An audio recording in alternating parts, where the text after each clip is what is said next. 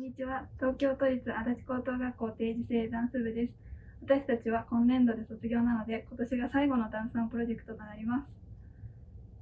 私たちの青春を彩ってくれたダンスワンプロジェクト、関わってくださったすべての方々、そして『スッキリ』へ3年分の感謝の気持ちを込めて踊りました。それではご覧くださ。い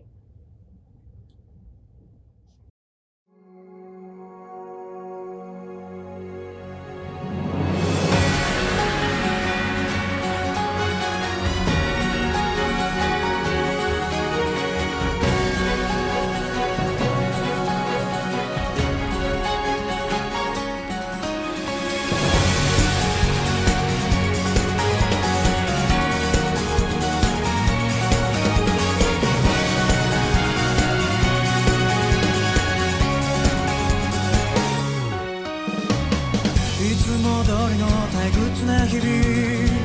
稲妻のような衝撃たちが突然僕を眩しすぎる世界へ連れ出した。